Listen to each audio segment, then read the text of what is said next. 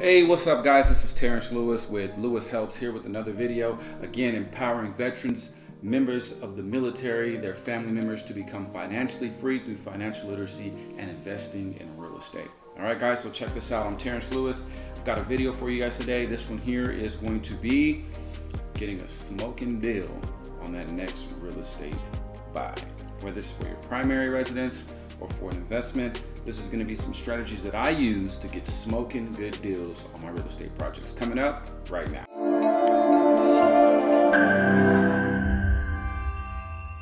All right, guys.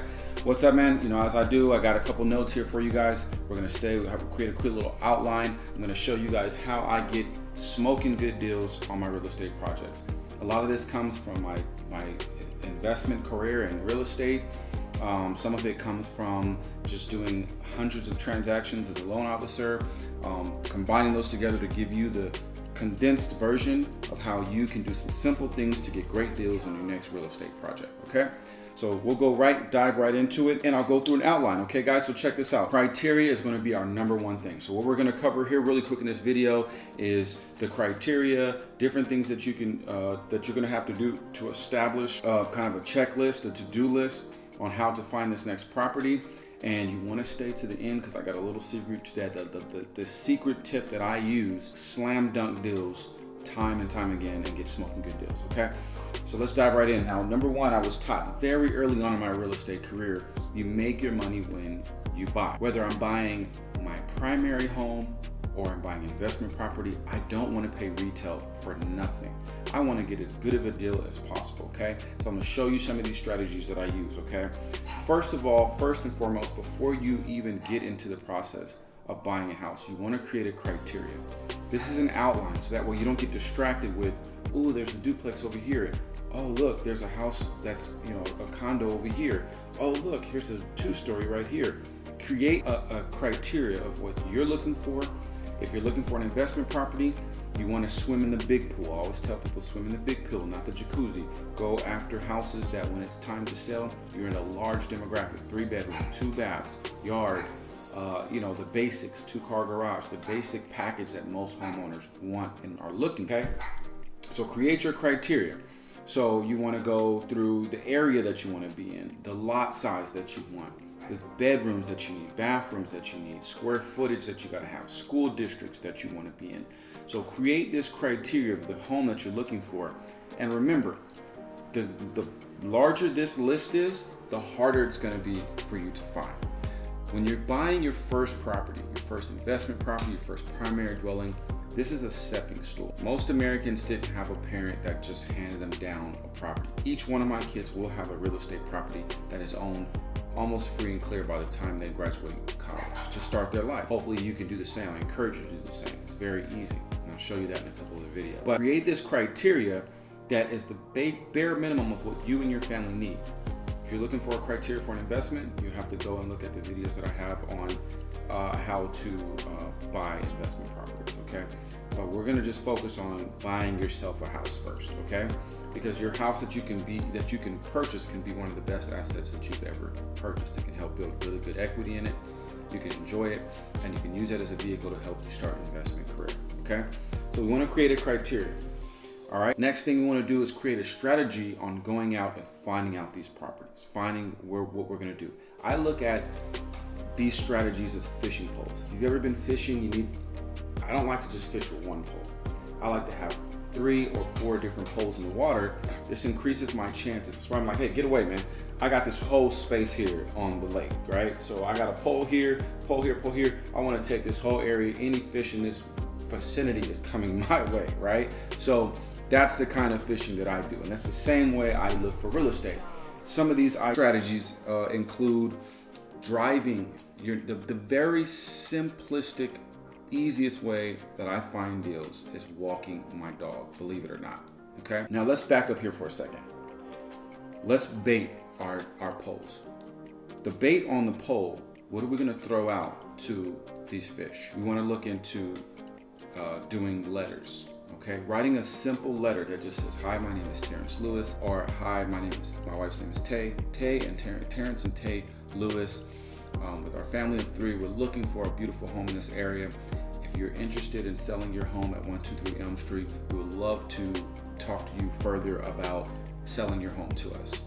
Um, you can even put in there that you're a cash uh, buyer, okay? And I'll talk to you a little bit more about the strategy on on that, the emphasis of doing the cash, the strategy behind it, okay? You can also do postcards, okay? And I'll show you an example of what my postcards look like. And so those are some some strategies that you can do. You can do signs, you can do a lot of different things to put as bait on the other end of these strategies that I'm going to give you. Okay. Now, driving around your neighborhood, driving around these neighborhoods that you want to look for, you want to look for distressed properties. Okay, so properties that look like they're falling apart, properties that look like the person may be having some financial struggles, and may you know roofs that are are um, a little bit distressed. The yard looks a little distressed. Now, keep in mind these things are cosmetic. Don't get wrapped up in it. You want to find a very good. You want to find the house in the neighborhood. You want to find the square footage that you're looking for because in real estate, it's all stick and concrete and drywall and trim baseboard and cabinetry. It's it's all aesthetics. Okay. Um, so again, don't be too picky about that.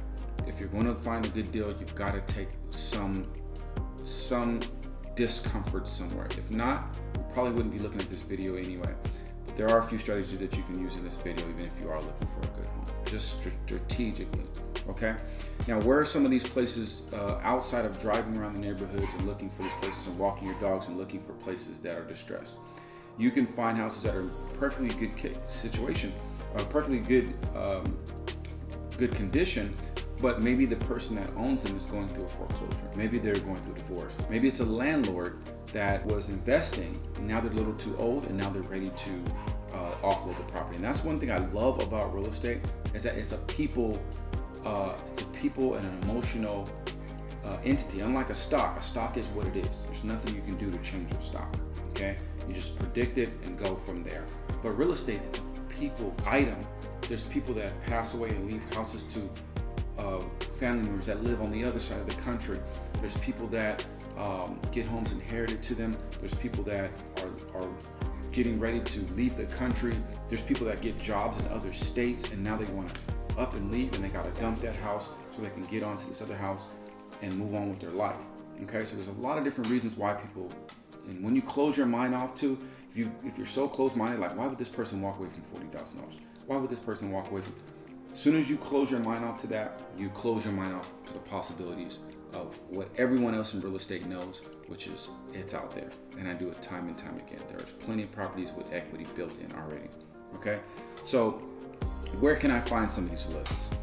There's companies like CoreLogic, ListSource. There's a lot of different companies, so just Google uh, buying pre foreclosure lists right? And so you can actually contact ListSource is a great one. You can contact ListSource and say, hey, here's this criteria of what I'm looking for in this, and they'll give you a list of individuals, names, addresses of individuals that are in that specific area that are in pre-foreclosure, that have got a notice of default.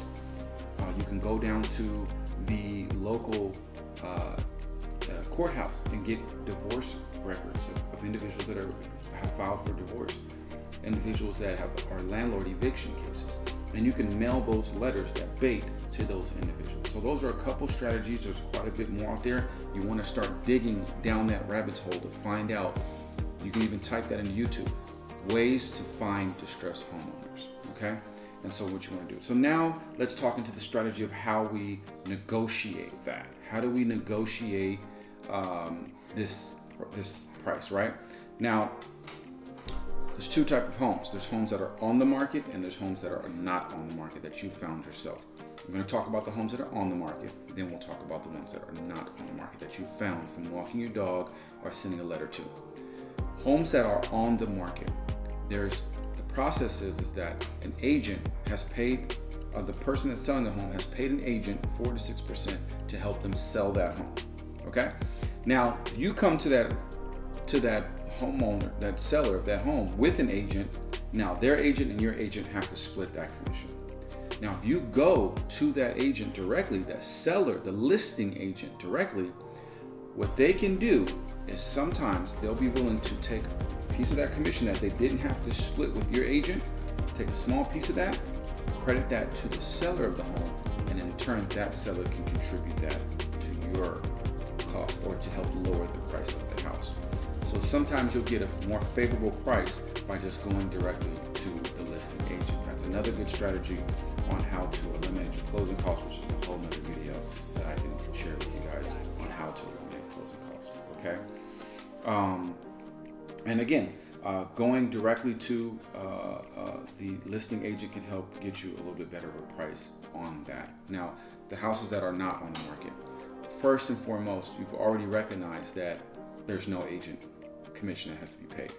So when you look at what the value of the home is and you see what, what the house is going for, you can automatically talk to the individual and let them know that they're not getting, they're not paying any commissions, okay, for agents.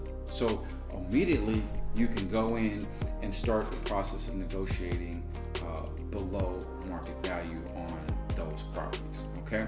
Um, immediately, any of these properties that you find that are off the market are typically going to be more uh, that are going to be more cheaper and more wiggle room to negotiate than properties that are on the market. Okay, so I hope this was a quick little video to help you guys out on some strategies that I use of finding these properties. Again, this is a lot of information to take on. The synopsis, just really quickly, is find a few different strategies that are going out. You can drive around in your neighborhood and look for properties that are distressed. You can go to CoreLogic or a ListSource, find a list of individuals' names and numbers that are have been in default or not owners or not absent or absentee owners that actually don't live in the house that they that they own. Um, or landlord evictions. So, and again, you want to send letters or postcards out to those individuals just stating that you're interested in buying their home. I hope this was a helpful video. Please, if you enjoyed it and you got some information from it, please like and subscribe. There's going to be a lot more content coming out from um, buying investment properties using your VA loan. There's going to be uh, how to buy a house with no money down. We're going to do credit building uh, videos. So there's going to be a lot of content that we're going to bring to you. Hopefully this was helpful. Please share, like, subscribe. Thank you for watching, and we'll see you soon.